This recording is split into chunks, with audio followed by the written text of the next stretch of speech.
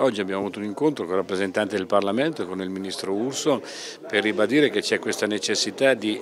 aggiornarla, modificarla in alcuni aspetti perché l'impianto c'è, perché sono passati tanti anni, il contesto economico è cambiato, la specificità dell'artigianato è assolutamente necessaria ma va contestualizzata in quello che avviene oggi a differenza di com'era l'economia 40 anni fa. Crediamo che la proposta del tavolo di confronto che abbiamo messo in campo ci possa aiutare e delineare anche bene l'azione che deve fare per alcuni aspetti il governo centrale rispetto alle competenze che sono state affidate alla regione. Quindi è un ragionamento di coordinamento rispetto alle azioni. Noi abbiamo bisogno di trovare livelli di uniformità, cioè per eh,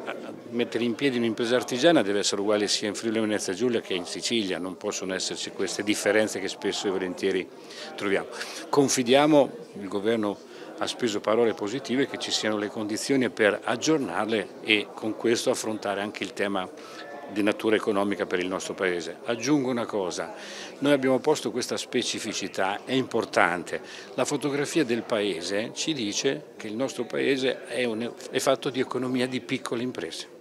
le azioni e i provvedimenti devono tener conto di questa cosa, non tararle solo sulle grandi imprese, perché sennò l'effetto è distorsivo e negativo, non diamo un contributo al Paese, non è una rivendicazione, noi vogliamo stare con tutti, rimarchiamo l'importanza della grande impresa, però la gran parte è fatta di piccole imprese e ha delle sue caratteristiche che vanno considerate.